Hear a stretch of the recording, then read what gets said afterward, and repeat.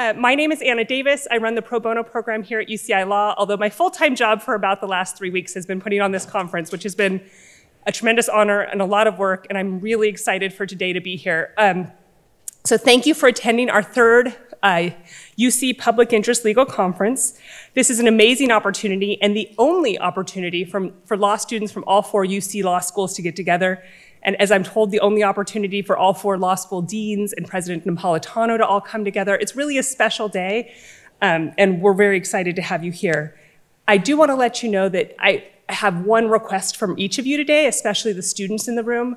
My request is that you use today to go outside of your comfort zone.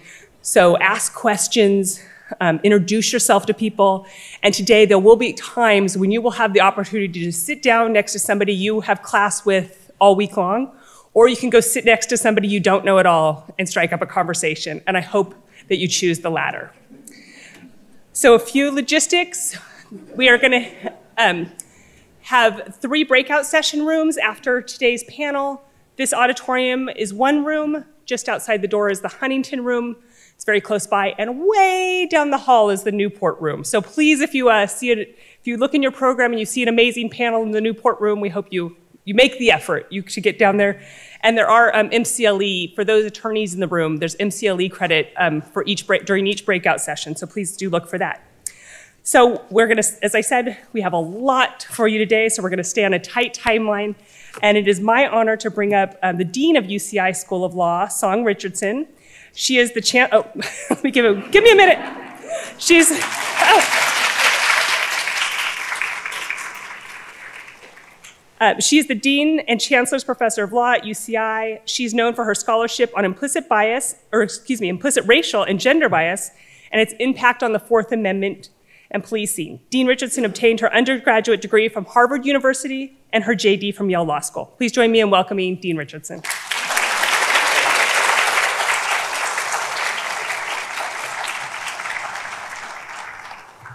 I will always arrange it so that I get clapped twice. Thank you, everyone, so much for being here this morning. It is incredible to look out and see all of you students and future leaders, former students, members of the community who are here to, to really think hard and long about the importance of public service to our world. We are at UCI Law so very, very excited to be able to host this event here uh, this year. So thank you so much. This conference has always been special to me. And it's a special time to hold this conference now for all of us because it gives us a time to build community, to bolster our commitment to public service, and then, of course, because of everything that's going on across the world today, to really commiserate about the state of the world today. And as all of you who are sitting here today know, fighting for social justice is more important today than ever. And we're relying on you, both those who are already lawyers and even more importantly, to all the students here, to all of the future leaders here, to do everything that you can to leave the world a better place than it is. That was my dream. That was why I went to law school. It's why I spent my entire career, both after law school and even after entering the academy, trying to do everything I can to make this world a better place, to do the work myself, to support those like all of you here who are doing that work too, because you're here today, because you share the dream that we share. The one that we share at UCI, the one that we share in the University of California, and the one that you share by virtue of the important work you do. And I know that sometimes it feels like we don't have enough time to do the things that we must do. And sometimes it feels completely depressing and hopeless, or at least I'll speak for myself. Sometimes it feels that way for me. But then I remind myself that we make time and put resources towards those things that we think are important. And so to come together today for this incredible day to build community with each other, and as Anna Davis said, to meet new people, because that community that you have is what will help you through the dark times. And very soon, uh, we'll have our uh, deans up here, along with the president, Janet Napolitano. And when I talk about building community, I just have to say, because we say this to all of you students all the time, each and every one of the deans that will be sitting here today, we all know each other from outside of our deanships. Right? That's how these relationships work. So I again want to reiterate what Anna Davis said. Please reach out to people you don't know and start to broaden your communities. So why are we here then? Well, four years ago, the four UC law schools asked President Napolitano to help us help our students achieve their dreams of a career in public service. And of course, President Napolitano did not need to agree with us. She didn't need to say yes, but she did. So President Napolitano understood that it was critically important for the University of California system to provide financial support for tomorrow's public service advocates. And out of that commitment was born the President's Public Service Law Fellowship Program. And this program has been an enormous success. I mean, just look at all of you in this room. It gives us such great pleasure to see all of you here. And we were just speaking to a law student who said the reason she came to UCI and to the University of California system was because she had read about President Napolitano's commitment to public service. And now, across all four schools, the funds for this program have supported approximately 425 summer fellowships and 60 postgraduate fellowships each year.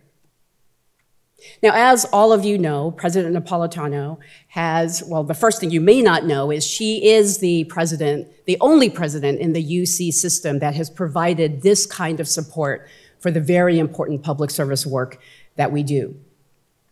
As all of you know, President Napolitano has announced that she will be stepping down this year. I will formally introduce her in a moment, but I would like to ask all of you here today to please give a very warm thank you for all that President Napolitano has done in support of public service in the University of California system. Can we please do that now?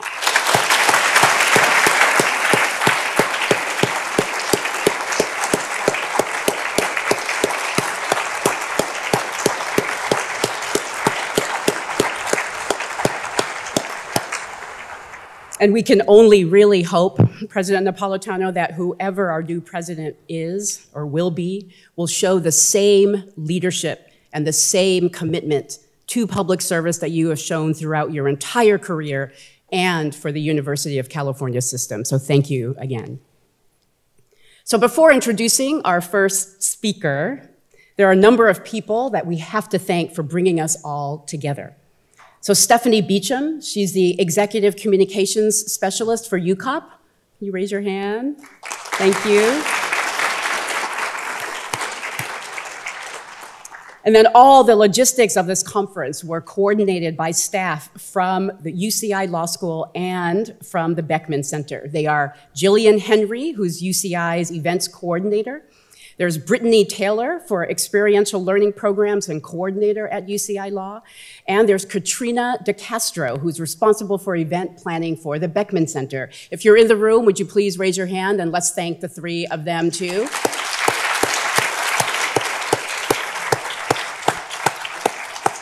They're not in the room because they're doing all the hard work outside.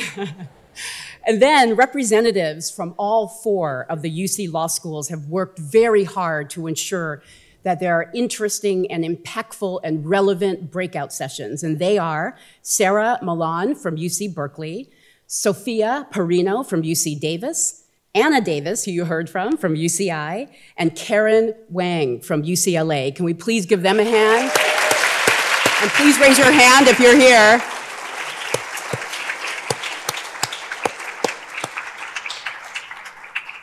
Finally, I want to thank all of you for being here. To the students, you are our future. We are relying on all of you. So thank you so much for being here. And then for all of the presenters, thank you for taking your time out of your busy schedules to be here on a Saturday, the first day of the Lunar New Year, to share with us your expertise and then there's one person I have to call out, and I'm so sorry to have to do this, but I have to because he is the chair of our UCI Law Board of Visitors who's sitting in the back of the room. Rich Bridgeford, I really want to thank you for your support throughout the years uh, for our school. So thank all of you for being here. Okay.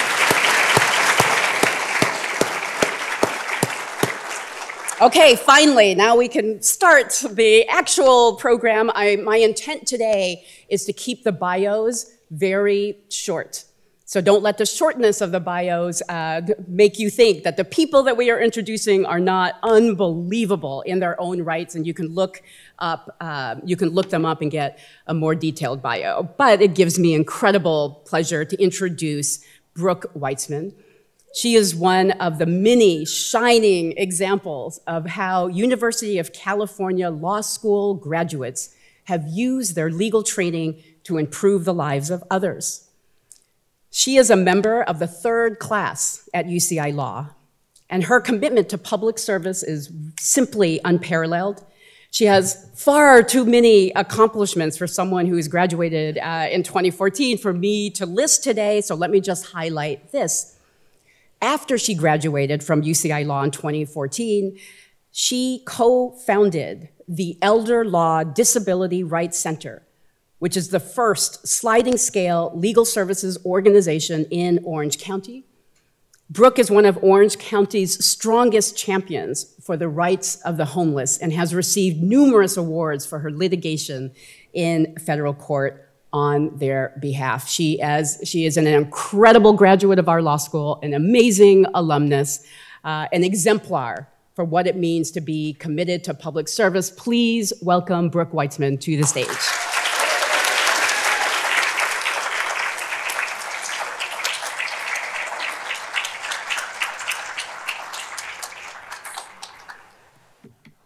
So whoever was scheduling that decided I should go between Dean Richardson and all the deans, I think maybe I need to have a talk with. Um, so, um, so, I, so, so like you just heard, right? So I was in your seat a few years ago as a recent graduate. Um, I came to the UC system because of the commitment and because of the new UCI Law School and because of the social justice minded folks I talked to when I was figuring out where to go and had the opportunities that you all are having to connect with people in my school, in other schools, um, lawyers who were committed to coming back and investing their time and their money in all of you to create the next generation of amazing public interest lawyers to do service and to fight for justice. Um, and the need for that does continue to grow. It is great to see that UCI, and particularly through President Napolitano, has continued that commitment and that we now see not just the words of commitment, but the, the financial resources and the time to back it up, right? The ongoing opportunity to bring you all together. And, and I know you already heard it twice, but I'm going to echo what you heard before. Go shake a stranger's hand and trade information because your network will be everything as you come up in your legal career, as you get to meet more lawyers, um, and as you see what opportunities there are for you. So when I graduated, um, I started off doing an Equal Justice Works Fellowship at the Public Law Center here in Orange County, and I quickly found that there were a lot of people that we weren't serving, that we felt that there was a gap in the justice system. There were people we were turning away every day, either because they were a little over income or a little under senior, um, or they had the type of need that couldn't be met in the kind of traditional legal services. And I actually went to a lawyer I had worked for as a law student at UCI and said, I have this idea. I think I might just go and start a civil rights practice where I can serve who I want and I can help the homeless community because that's something that I've always been really passionate about. And he said, Well, you could, or we could partner up. I could quit the job I've had for 30 years and we could start a sliding scale org. And so, of course, we did that. um, and so since then, over the past three years, we've really had the opportunity to serve, to both to serve thousands of people and to fight for justice in Orange County and to be leaders in the creation of thousands of shelter beds that save hundreds of lives. Um, but more importantly, to continue to partner with the UCs. So this program and this system has funded fellows, postgraduate fellows, summer stipends, the, the postgraduate loan forgiveness assistance, um, all of which have helped people to come to the Elder Center and to other comparable organizations to do good work. Um, so when, when these fellowships fund our graduates, I fund UC graduates, they're not only giving you all, or the recipients, this kind of career springboard, the opportunity to start working before you get your bar results, which we know is much harder in public interest and government work than in private practice. Um, but through that, they are serving the hundreds, if not thousands, of individuals that you will serve during that first year of your career. And they're serving organizations like the Elder Center, small nonprofits that are growing and giving us the synergy we need to grow quicker, to bring on more attorneys, and to build up sustainable programs that we can then hire all of you to keep running. Um, so this program is really critical, both for, for you, for the people you'll have the opportunity to serve, and for organizations like ours.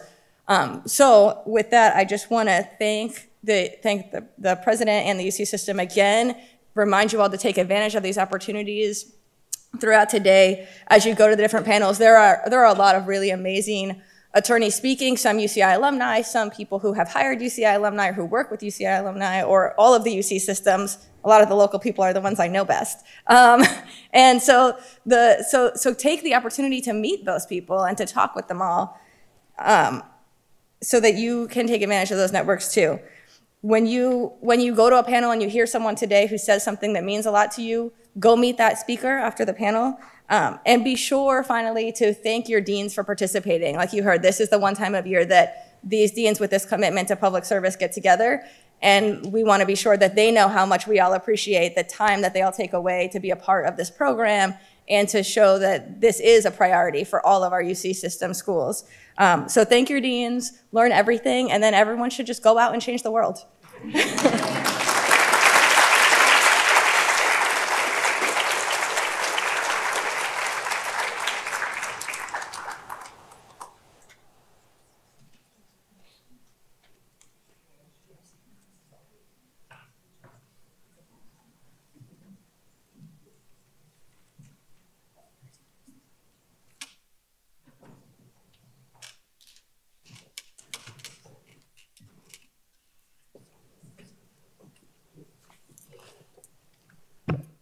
So it gives me great pleasure to introduce all of our panelists this morning. And again, I will keep their bios very short because every person on this stage is impressive and has careers that demonstrate their abiding commitment to public service.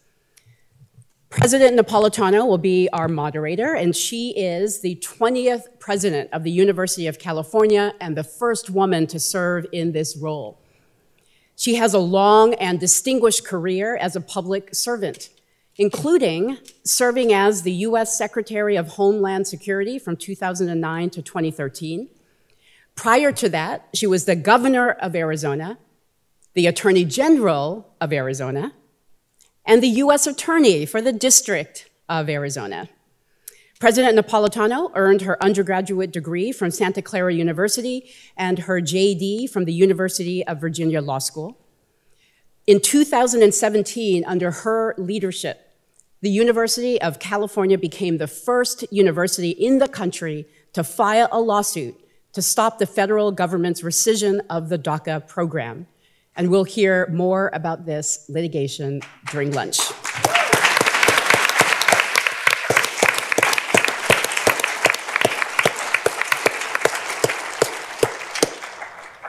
Erwin Chemerinsky is the Dean and the Jesse H. Choper Distinguished Professor of Law at Berkeley. And of course, you hear the excitement, the founding Dean of UCI Law.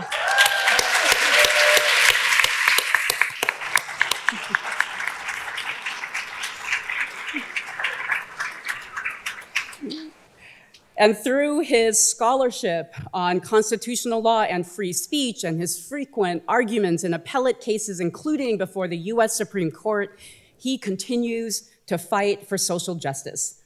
Dean Chemerinsky attended Harvard for both his undergrad and law school degrees.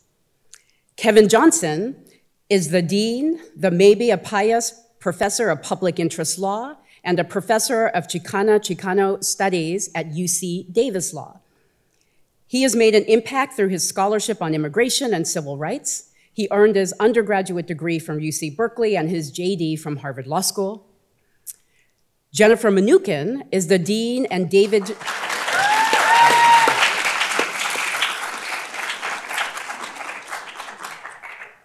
Jennifer Mnookin is the Dean and David G. and Dallas P. Price Professor of Law at UCLA Law. She is known for her impactful scholarship on evidence, forensic science, and the Confrontation Clause. She received her undergraduate degree from Harvard, her JD from Yale Law School, and her PhD in history and the social study of science and technology from MIT. So I'd like to thank all of our panelists for being here this morning.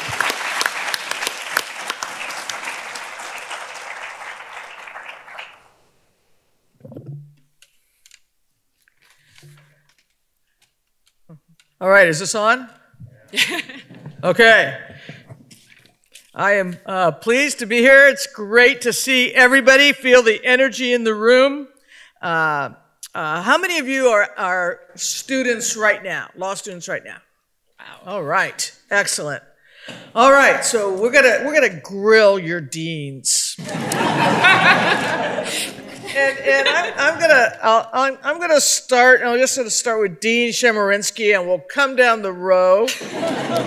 Um, but Dean, uh, um, do you think law schools today do enough to prepare students for careers in public service? No, but before I go any further. I want to say what an enormous pleasure it is to be here, to be part of the panel, and I want to echo everything that Song said, and thanking President Napolitano for creating this program, the summer fellowships, the postgraduate fellowships, and of course the support for the program that we're part of today. The answer to that question, President Napolitano, has to be no. The reality is we don't have enough scholarship money available to help facilitate students being able to go to law school without crushing debt. We don't provide enough money during the summer for students to be able to do public interest work in many instances. We don't have enough in the way of postgraduate fellowships to facilitate it. We all have loan forgiveness programs. We're all improving our loan forgiveness programs, but they don't do nearly enough. I also worry about all the things that occur during law school that may channel students not intentionally, maybe inadvertently, away from careers in public interest law. And we need to always think of the things that we can do as law schools to reinforce for our students who want to pursue careers in public interest law, how to do it, and to help them get those jobs. Dean Mnookin. I also want to reiterate my thanks to you, President Napolitano, for the program that you created and for the ways that you've supported uh, the law schools and public interest at the law schools in a really passionate and, and powerful way. It means a great deal to our schools and to us and to our alums and students. Um, I don't think we do enough. I do think we are trying. So I guess I would agree with everything that Erwin says. I, I I'd start with with scholarships. I mean, I recognize that uh, the the cost of a legal education is daunting, especially when uh, framed against the salaries uh, in public interest, and um, and I think that's a serious challenge. And that while our loan forgiveness programs really do make a difference there, um, it's still a challenge, and it's still a challenge to take on debt with uncertain futures and not know what's going to come next um, in that regard. And so I think that's a, that's a very real challenge. I also think there's a set of systemic factors that, um, that operate in really unfortunate ways, including, for example, those uh, surveys that treat average salary as if it's a mark of the distinction of a law school. So that means that if a law school sends a great many people into extraordinary public interest opportunities where they're going to change the world, forego a lot of income, but to make a difference and to follow their passions, the law schools are hurt in that assessment metric or mechanism. And that's just one of a number, right? Those operate outside our law schools, but they also affect our law schools. And I think that's something that should be very much part of our collective conversation. These fellowships, the postgraduate fellowships that we are able to offer in significant um, part because of the generosity of the system, something that we're so proud of in this system, something that we're drawing attention to, something that for many of you affected where you chose to go to law school. In the main rankings vehicle, US News and World Report, they don't count as a full job because um, because of how they choose to structure things. They count as, you know, three quarters of a job or whatever else. That's wrong. That is just wrong, and it's a structural disincentive against um, against public interest opportunities. Um, so, so I agree that we aren't doing as much as I wish we could, but I also think that the UC law schools are doing more than almost anyone else out there. There are some other law schools that are also doing more. I don't want to suggest it's the UC law schools alone. But I do think that all four of these law schools are making it a serious institutional priority, supporting our students in significant ways, not perfectly, but we are trying. And so I think we should, we should recognize and acknowledge that too. Dean Johnson. Well, thanks for this opportunity and uh, thanks for this wonderful program. And I want to thank all the students uh, and others for, for being here today. Uh, I, I, agree with um, my, my, deans to my left. Um, I think that uh, we're not doing all we can do, uh, but we are doing more than we have done in the past. I think this is something that we're paying attention to uh, and that we're trying to improve. I think that all the deans on this panel are working hard to raise money for scholarships, uh, to expand our loan repayment assistance programs, to create the institutional structures to help and make it as easy as possible to, to get public service work. One of the, the, the challenges is that you know, the, the private sector is very good about funding itself, reaching out to students, and we have to create structures to make sure that we connect you all with the public interest employers who don't have the resources to invest in that kind of reaching out opportunity. I'd also encourage you to think about possible public service work, maybe not in Los Angeles or in San Francisco, but there are all parts of the state. Rural poverty and rural organizations are, are uh, I don't want to say dying for people, but they're, they have a hard time getting lawyers to go work out in uh, the, the, the less populated parts of the, parts of the state.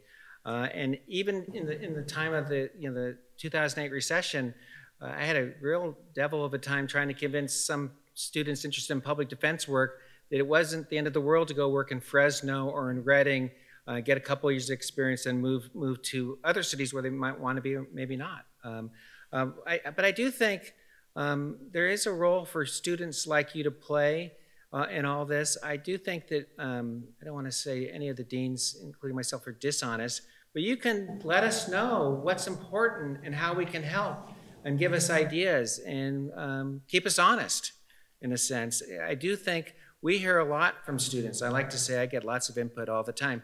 Uh, and I, I, I do. Uh, but we also need to hear from you all about what we can do, how to make things work. Sometimes I found I, I, that some of the, the best ideas that um, uh, have, have, come to me have been from students, uh, maybe not in, in um, uh, implementable form at the outset, but in the end, uh, things have worked out. So I, I'd encourage you to uh, share your thoughts, share your ideas, let the deans uh, um, um, although I like the, the first concept of uh, from the last speaker, thank your deans. I think you should do that. Uh, but, I also, I, but I also think uh, providing input is incredibly important. And uh, in, when something goes well, too, actually, one of the things I think we could all agree on is we rarely hear from people when things are going well. Uh, we tend to hear from people when they're. I know that. if you think a program like this is a good program, let people know about this program. I'm hopeful that this program continues with the next president, uh, and, I, and I hope that students like yourselves let it be known how important this program is and how much it's needed both to recruit students and to encourage this kind of work uh, and help the people of this state and, and elsewhere. So, unfortunately, I get to go last. And the reason I say that is because everything uh, that my friends on this panel have already said is what I would have said. So I will, um, and it's true, I had my list and then I, I crossed it all off. So I'm not going to repeat everything that's already said. I sign on to all of it. And I, and I guess the, the thing that I want to say then is obviously, no, we aren't doing enough. Um, and it is the, so I'll tell you what keeps me up at night. Um, because my entire career was being one of you, right? Being a public interest lawyer. And I was so privileged to be able to do that because of the loan forgiveness program that I had and then the fellowship I was able to get. And without those two things, I simply could not have afforded to do this work and have the launching pad to spend my entire career doing public interest work within uh, an organization that focuses on that. Which is why I want to add to everything that's been said that the reason we frame it and the reason I begun talking about more generally public service versus public interest is because there are going to be people here that simply can't afford to do public interest work. And I know what that's like. You have families, you don't have the resources, you simply can't, the law school tuitions are incredibly high, your loans are unbelievable. And so, recognizing all of that, I hope that each and every one of you, as we think about the work that we do, whether you're able and lucky enough to work in the public interest or you're in the private sector, to remember the importance of public service and the importance of looking back and lifting up people and remember it with your law schools when especially if you're in the private sector when you when your law schools call you up and what you want to do is hang up the phone and not speak because you're so worried what we're going to say is, will you contribute back to your law school? And so we are not doing enough, but we ask all of you to do and contribute too. And I'm not trying to turn this onto you because, I, like I said, this is something that keeps me up at night. But we can all contribute to this important work that we do, and we up here can all do better. And that is what, why we need all of you. I love it, maybe not right at the time, but after I think about it, when all of my students come to me to tell me all of the things that we are not doing, please continue to do that. Because it's your ideas, your creativity, and you're the ones who are out there now. Please tell us what we can do better. And also, think about the things that you can do, especially if you've already graduated, to help the students who are currently in law schools, to help us do a better job at what we're doing. And the final thing I'll say, because it was already mentioned, US News is the bane of my existence. But, but, but I'm, I'm saying it to you because I'm going to issue a challenge to all of you in this room. US News, as Dean Mnookin said, places lots of pressure on law schools, and I wanted to not pay attention to it at all. And then I started hearing from you, the students who care very much about the rankings that we have. And then I hear from employers, and I hear from alumni, and I realize everyone cares. And if you and the students who are coming up would stop caring about the rankings, because they have perverse incentives. They really, really, really do. And I wish there would be a movement, a grassroots movement from you and students applying to law schools to say that one individual, whose name I won't say right now, who, who basically builds the algorithm that tells us what should matter. And public service is not one of those things that matter. Why should he have that power? And you have way more power than we up here to say, enough, we're done. What we care about are those schools that really care about public service. That's where we're going to go. That's what we're going to do. Who cares what US News and World Report says about the way that they rank? This is you. You have the power to start doing this. So use I'm going to say Instagram, tweet, whatever. I don't social media. I'm not good at social media, but use those platforms. Start doing it. Create that movement. Say, we don't care what you have to say, US News. What we care about are the things that matter to us. Go to the school that does the things that you care about. But it is easy to say that and hard to do. So my challenge to you is let's start building that movement because you have the power to begin it. Thank you. All right, so.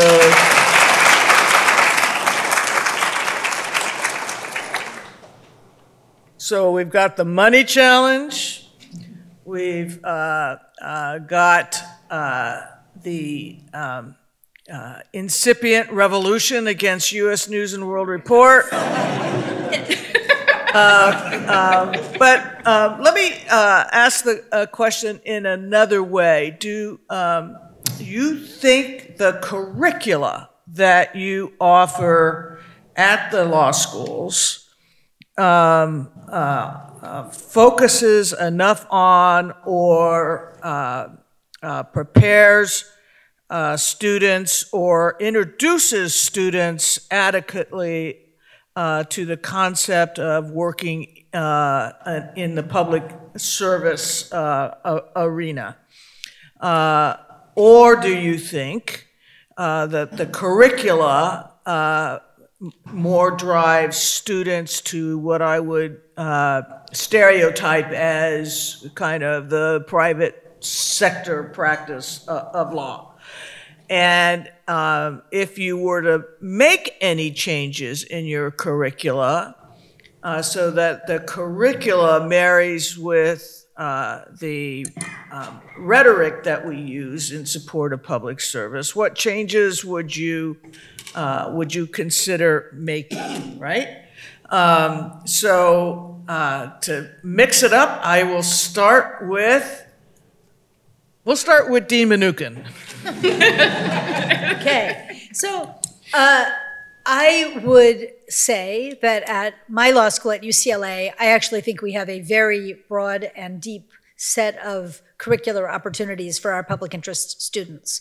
We also have an admissions program, the, the Epstein program in um, public interest law and policy, um, that some students arrive being part of, and those students have, um, even in their 1L class, a, uh, a lawyering skills class that is focused on public interest um, in particular, as well as a, uh, a chance for a class uh, with the other uh, Epstein students to talk about these issues really in their first year. A number of additional students transfer into the program. And I will say one of our institutional challenges is that um, it is more competitive to get into the Epstein program than it is to get into the Yale Law School, right? I mean, truly, in terms of numbers, we get hundreds and hundreds and hundreds of applicants. And so we have many public interest minded students at our school who are incredibly passionate about public interest and who don't begin in that program.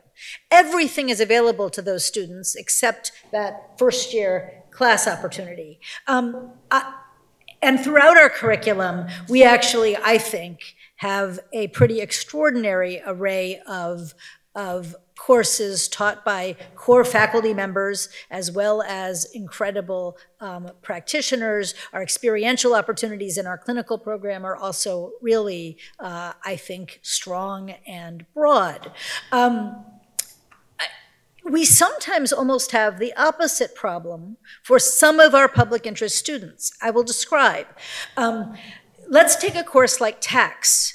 There are many of our public interest students who may not choose to take the basic tax class because they know they want to go into public interest work. It doesn't feel that relevant. It's not what they're interested in, and we certainly don't require it. I was really struck when a fabulous alum of ours, who's been the head of Bet Tzedek for the last uh, five years, um, came and talked at the law school a couple of years and talked to our students and talked about how tax was one of the most useful courses she'd taken during her time in law law school. And some of the students in that room heard that and were shocked, right? That was not what they expected to hear from the amazing Jessie Kornberg, president of Bet Tzedek, president and CEO of Bet Tzedek, um, you know, public interest luminary. And so I do think that one of the challenges in a curriculum, three years is long, but it's also short, right? The first year is largely structured. Um, is how to balance your passion interests with some skills building that may turn out to be really helpful even in a public interest career that may not be obvious. You know, when you're in the trenches doing um, your first few public interest jobs, tax may not be important to you. But if you come to take on um, a more senior leadership role in a nonprofit organization, it really may be quite important.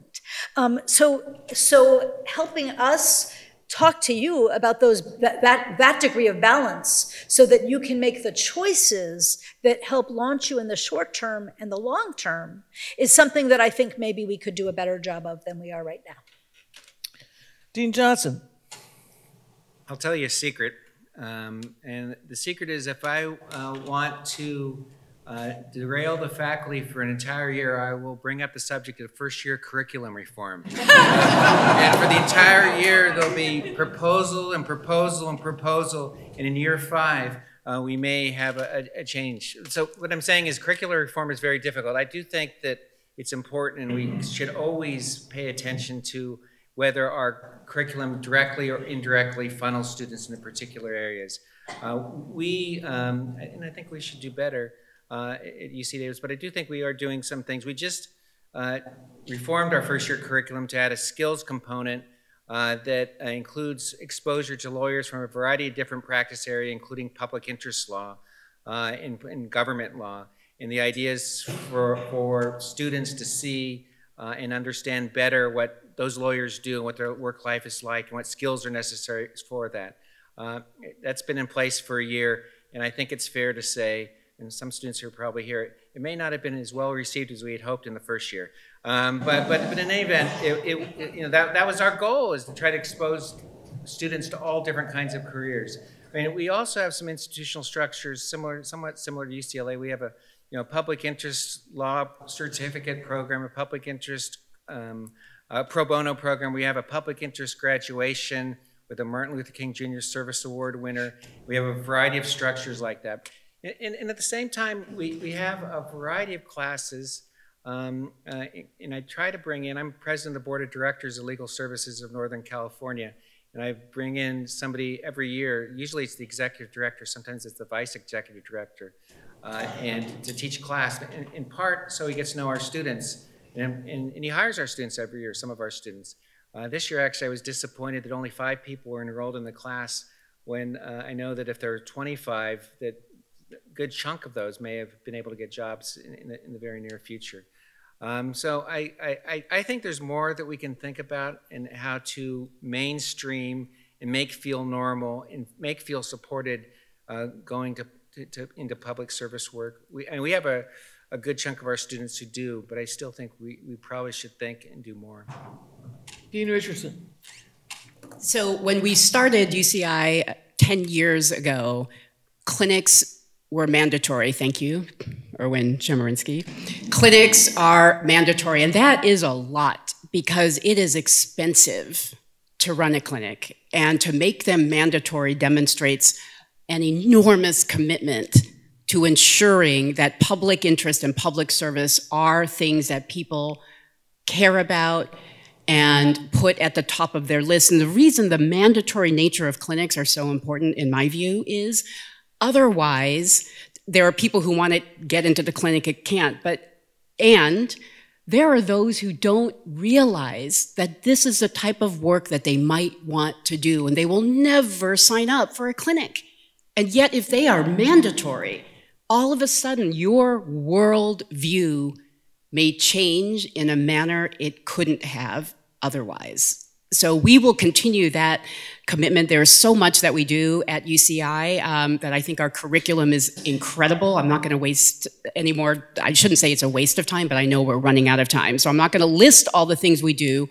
What I will say, though, is that we are doing what Dean Johnson just talked about. We're doing it this year. We almost have a proposal because we're doing curricular reform.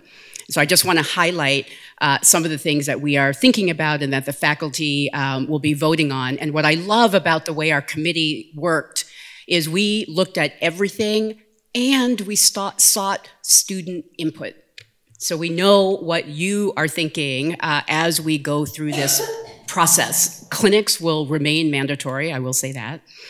Um, but the thing I wanted to mention that we don't do enough of, and I don't think law schools do enough of, is the world is changing right now uh, so much and so quickly, much of it because of the emerging technologies and artificial intelligence that are really impacting access to justice, our rights in both negative and positive ways. So look out for the announcement of all the things that we're going to be doing because it's going to be big. We've just been not disclosing it all yet, but there will be a lot coming. But what that reminds, what that triggered for me when we talk to people out in the community about if you're going to be a public interest lawyer or any type of lawyer, the new things, the new skills that we don't spend enough time doing, and that is innovation, emotional intelligence, figuring out how you can switch quickly in your own head with all the changes that are happening. We don't spend enough time teaching those skills to you. And those will be critical skills for you, regardless of the area of practice, but especially when you're doing public service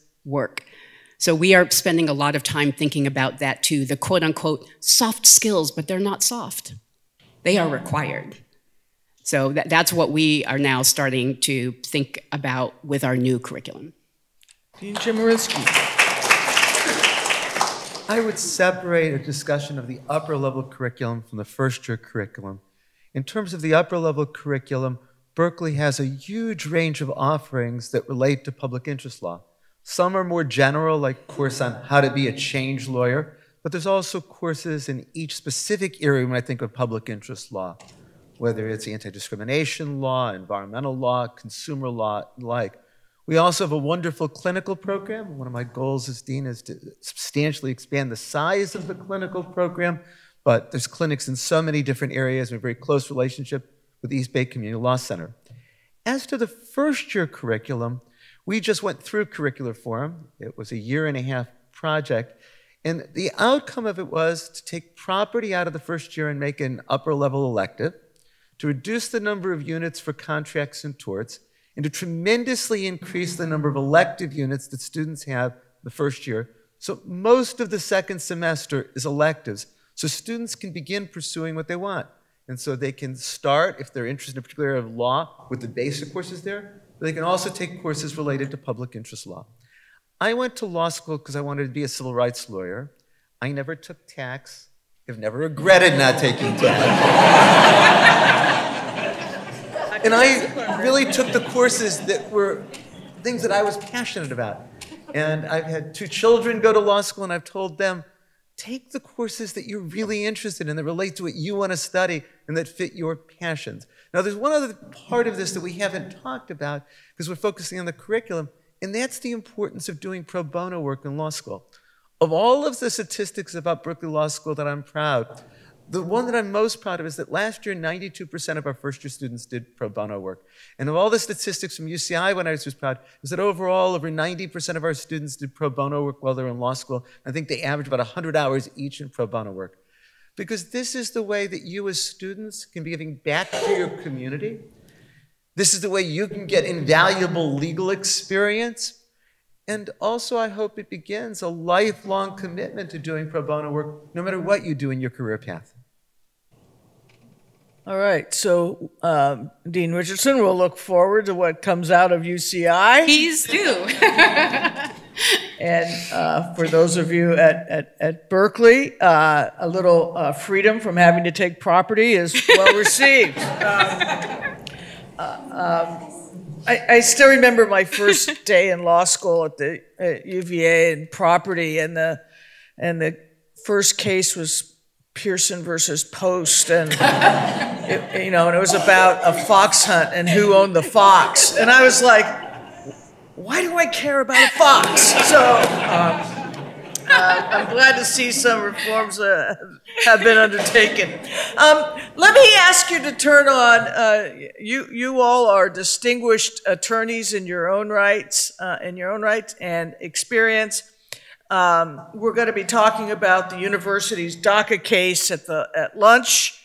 Um, uh, but I'm going to ask you to uh, put on your legal advisor hats and and uh, advise uh, me as to what um, uh, e either uh, incipient case or um, legal issue out there do you believe the University of California ought to intervene in and um, uh, take an active uh, role in? Uh, and uh, so, um, Kevin, I'll start with you. That, that's a good question. Um, and I, I, am proud uh, that the University of California has taken an active role uh, in, in immigration. And I want to say how it has done so under President Napolitano's leadership. I think that the DACA litigation is one very important place the university has intervened. But I also think that your creation of the Immigrant Legal Services Center, serving un undocumented students and their parents on all the UC campuses, was, was a major impact. And I think, um, and this is me reflecting my perspective, that the university should give careful thought how to integrate all students from all backgrounds, all immigration statuses, all race, all sexualities, and how to best integrate them so that the most successful students that they can be. And I, and I think that's a, a very difficult challenge, uh, but we're seeing incredible changes in our society right now in, in, in all kinds of different ways, not just in immigration status, uh, but in terms of um, you know, um, you know, uh, the rights of the trans community and other communities. And I think that, that the university should give careful thought to um, how to best integrate all students into the fabric of the university. Uh, is allowing ICE to interview on campus something that should, should occur or not occur? Uh, do we have to make available uh, the university to, to recruitment by all employers?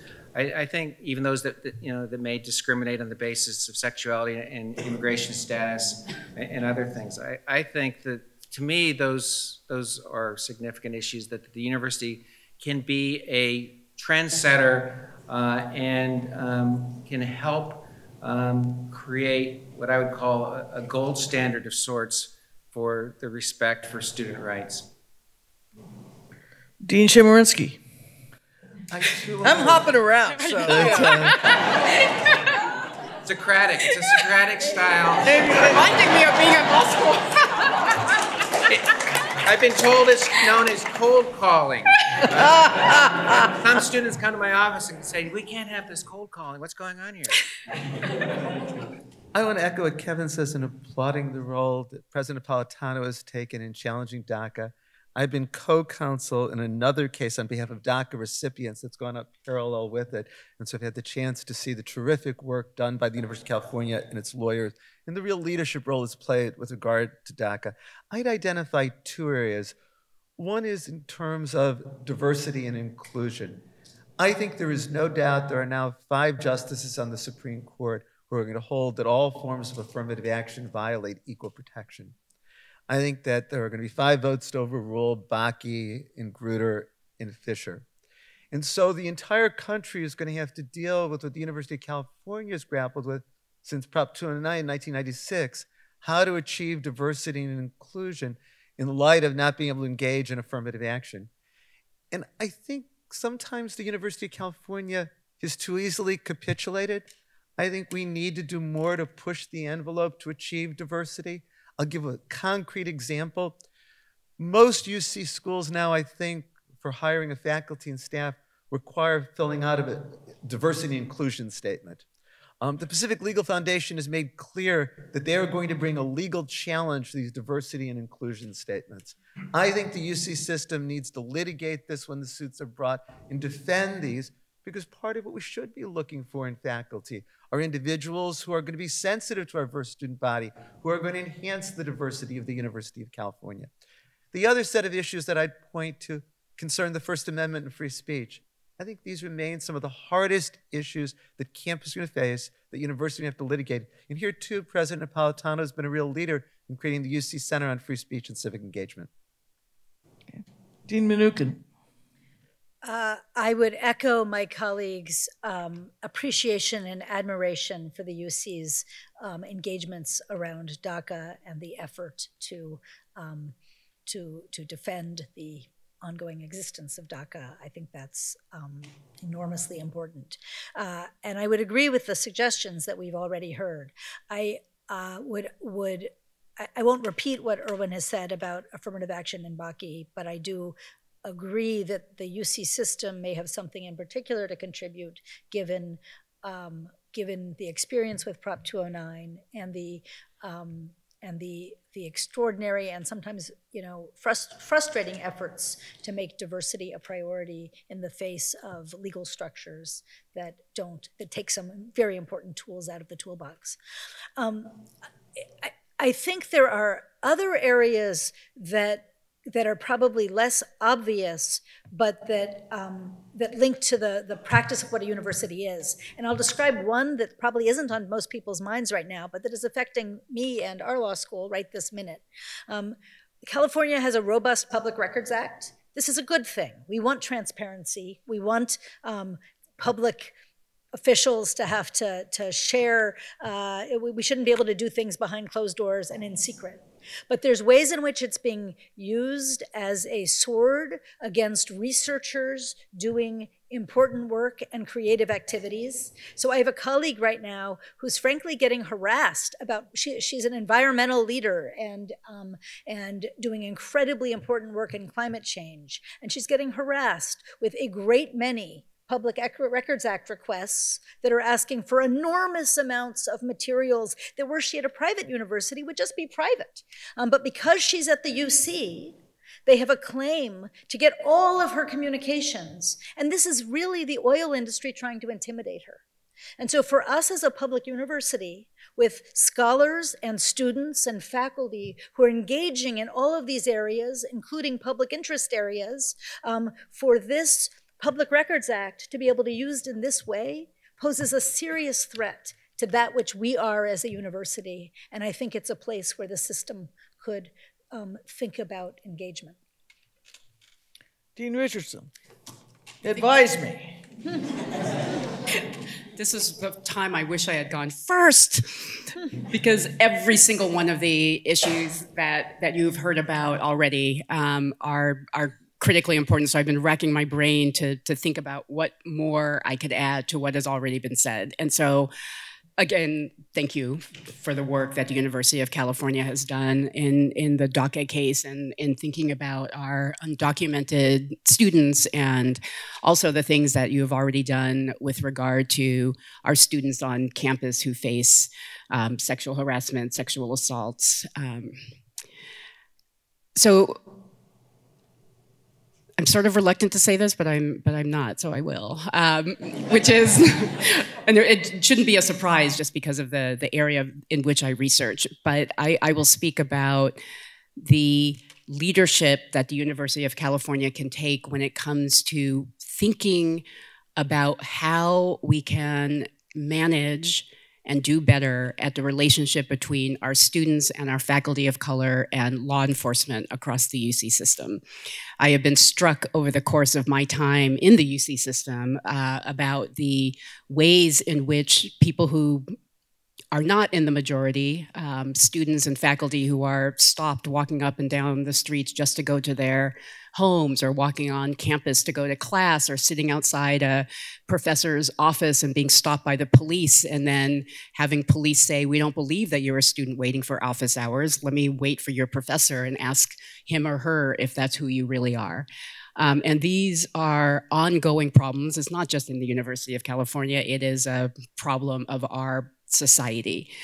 but sadly, too many of our students and our, our faculty and our staff and our administrators have that added burden of having to worry about that when what we hope is that all of you as students can worry about your classes and being cold called um, and, and all of those things and not being worried about stepping outside of your door and, and having to be searched and questioned simply on your way to school. And so I hope that given how large we are, um, that we and we've been making efforts, um, but I don't think we've been doing enough. And so, if we can do that, that would be the additional thing that I hope we could focus more attention on.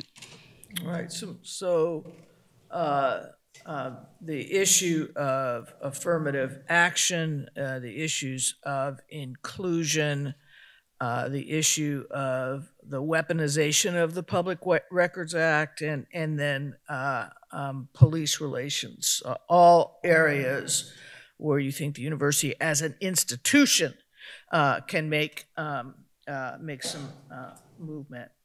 Um, okay, uh, we have 10 minutes or so for audience questions. This is the question part of the program.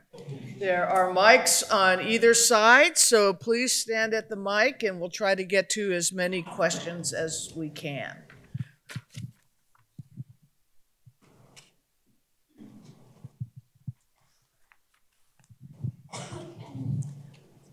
Um, my name is Justine Massey, and I'm here from UC Davis.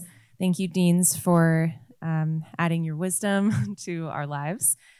Um, I wanted to ask sort of a follow up on the curriculum question, which is um, Have you thought about how the universities could influence what the bar tests and how I don't really know the history of attempts to change that.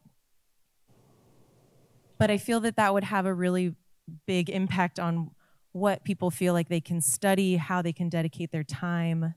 Um, for example, immigration and environmental law is just not on the bar at all, even though there's such important aspects of many different lawyering styles and um, professions. Who wants to take the bar exam on? Dean Mnookin. Uh, so you okay. you've raised an issue that's pretty near and dear to my heart, um, in that I've been spending some energy with some of my fellow deans, not not yet successfully, at trying to um, encourage uh, California to move its cut score closer to the rest of the country. We're an outlier right now. We're the second hardest bar in the country. The first is Delaware, and literally like 180 people take Delaware in July. it's just not um, a force in the bar community the way. Uh, the way this group could be the whole Delaware. Uh, right, bar. exactly, exactly. Um, and it's not what you asked, but it is one point of change because this this elevated cut score creates added pressure and tension here in California compared to um, in other states. Of course, the bar is a stressful thing everywhere, but when it's one and a half standard deviations above the national average, when there's strong evidence that this has disparate effects on, on bar takers of color with no evidence that it makes for better lawyers in any way, it's really, it's really an unfortunate thing. Um, you know, I, I, I am happy to say that we've had some really positive engagement about the possibilities for change. A set of public interest organizations and affinity bar uh, associations have also spoken up about this. Um, even some big law folks are beginning to speak up about the importance of trying to achieve change here. And so I'm hopeful that we'll see in the next uh, year or two some uh, some movement where California could become a little bit more like the rest of the country. You've asked a more profound question about what's on the bar exam. And I think it's also the case that the bar exam in its current form is really unjustifiable. Like there's just no reason to believe that this test accurately measures um, competency. The challenge is it's a really hard thing to measure. There's a study that's going on right this minute with results that are going to come out in probably February or March that's been looking at what lawyers, what young lawyers are actually doing to try to say what what, what ought to be tested.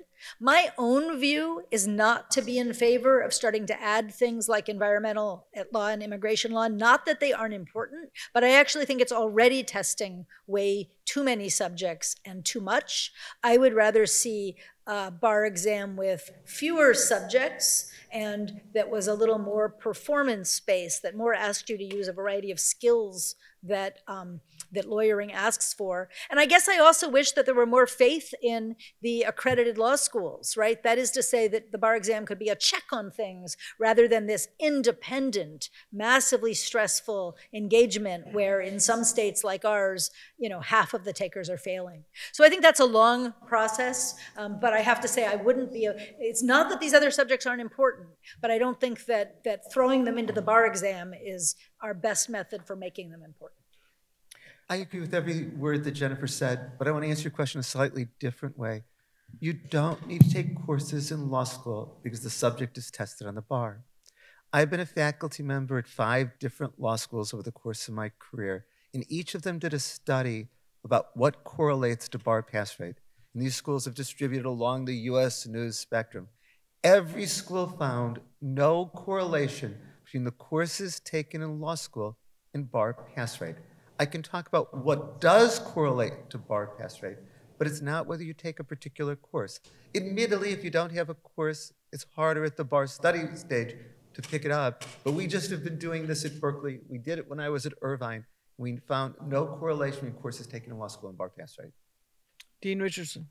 Um, so much of what I was going to say has already been said, but I just want to add to this, and it may not be a popular thing to say, but I would following up from Jennifer's um, last point about putting more faith in the law schools and the education that we give to all of you, because I have zero faith that the bar exam tests anything um, that is required to be a minimally competent lawyer. And the reason I phrase it that way, I, well, I phrase it that way because that's how the bar phrases it, right? We're supposed to test minimum competence.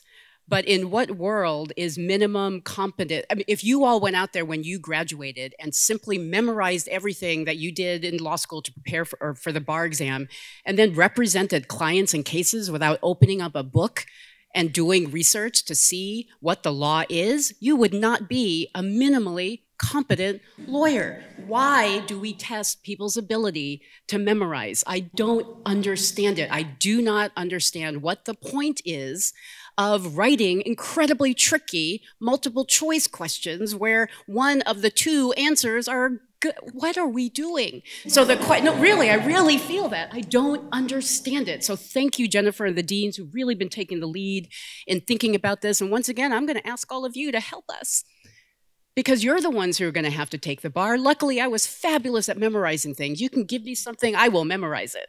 But what did it have to do with am I a good analyzer of facts? Do I show empathy when I speak to my clients so I actually learn what it is that they need to do? Do I understand how to be an incredible, brilliant appellate argument or trial attorney? And what do those things have to do with enduring the bar exam? I do not know unless truly it is a barrier to entry into the legal profession. Is that what it is? So let us ask those questions. Why do we have it? What is the point? And then let's figure out what to do with it. So I, yeah, that's it. All right.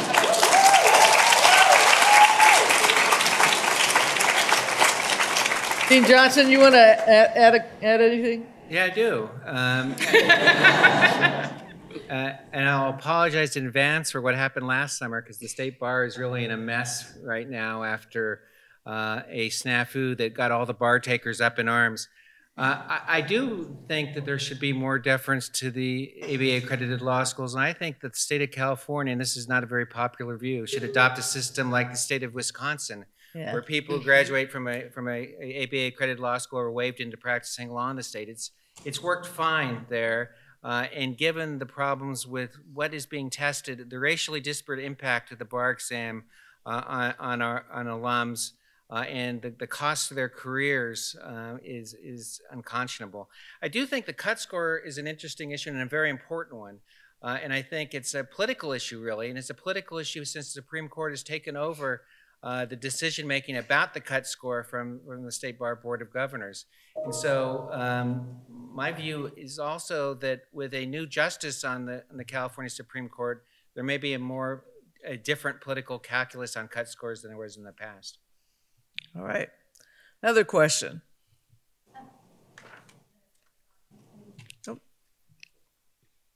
Okay, there we go. Um, my name is Melissa Tribble. I'm also from UC Davis Law School, and I also have a question about curriculum.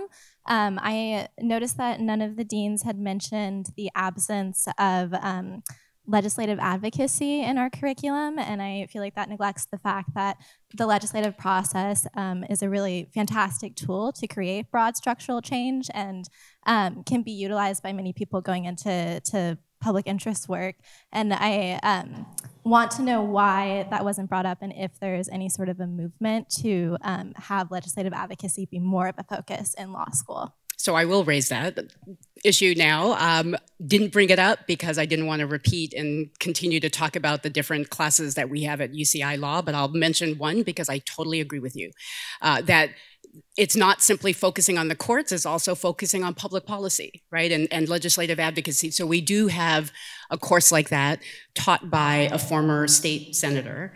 Um, and we, that class continue, oh, one minute left. So I, I, I will say that finding faculty to come in to teach courses like that are critically important. We bring students, students have the first bill drafted by UCI law students from that class before the California state legislature looking at artificial intelligence and bias and what are the types of things that this legislature should be thinking about when they do that. So groups of students take bills in that class for over the maybe not 10 years, but at least in the past since 2014, since I've been there, that has been a major class with students drafting bills, going up to Sacramento, determining what the subject matter of it is, and then helping the, the uh, assembly and senators pass that bill, or at least try to. So developing all of those skills, whether in clinics, because we have clinics that focus on that too, and I know the other schools up on this panel do too. Uh, that is a, uh, area of the law that we must teach our students to be able to engage in and understand and do effectively. So thank you for that question. Yeah. Any other anybody else want to comment on uh, legislative advocacy in the curriculum? Okay.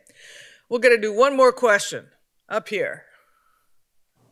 I know we're over time, but I'm having fun. I'm having fun, so you know. She is the president. Yeah. Hi, my name is Taylor Mangan. Um, I work for the ACLU of Hawaii on a presidential fellowship, so thank you so much for that opportunity. Um, I wanted to ask a question.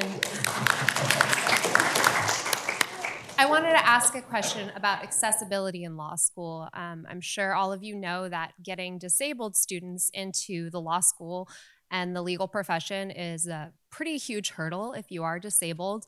However, as a disabled individual, moving through law school was incredibly difficult. Um, and I think one of the reasons that is, and what I've found over my time of talking to a number of disabled law students and legal professionals, is that starts in law school with a lack of accommodations and a lack of general support and a lack of curriculum um, for disability rights in general. So I would like to know if you're doing anything in particular for your disabled students who have a very powerful voice um, and could be benefited by your specific attention to that issue. We've just hired somebody in our Dean of Students office to focus on accessibility for disabled students, and that is that person's full-time responsibility um, because there are so many issues throughout. Um, I think you're right. We need to have more in terms of curricular offerings with regard to rights, uh, disability rights. Um, we had a committee last year um, focusing on these issues and they made a number of recommendations. Some of the issues are also just physical facilities that are very difficult and enormously expensive to change, but we've got, we're trying to work on those. Anybody else want to comment? Yeah, we, we hired somebody who specializes in disability rights, and she on a daily basis gives me input on how we can improve our accessibility for the disabled. I'm, and I'm not, I'm not exaggerating.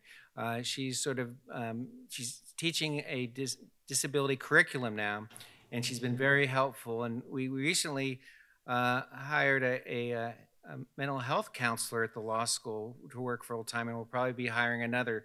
So we're, we're, we're trying to pay attention to some of those things. Um, but as always, um, you know, the, the field is evolving, and we're trying to keep up. I would only add that I agree that there's a great deal of work to do. I am proud that at UCLA, um, students a couple of years ago uh, began the first disability-focused law journal, um, law review in the country, and I, I, I mean that's one small step, but I think it's it's a positive and good thing to be bringing further attention. And it was very Completely much agree. I want you, oh, sorry, you had your hand up. Because I was on the founding board. I know. So great. How's it going? Yes. It's going. I mean, it's it's uh, the great news is it's still going. It's got it's got ongoing leadership. It's they know they've it's got my full support and um and that's exciting. But I also recognize it's it's a first step and that also there's a lot of journals and we need to create the energy to keep this one going and thriving. Just quickly, I just want to thank you for raising that issue. We didn't raise that issue when we were asked by the president what are some of the issues that the University of California itself should be and can focus on. And given the sheer number of issues that come up almost daily um, at the law school, at UCI, right? As we think through accessibility issues for our students, for our faculty, for our staff, I want to add that to the list of the things that as a structural way across every campus that we can figure out better and more ways to accommodate. So I appreciate you raising that issue for all of us. Please, please join, please join me in thanking our wonderful deans. And thanking our president, President Napolitano, one more time too, for moderating and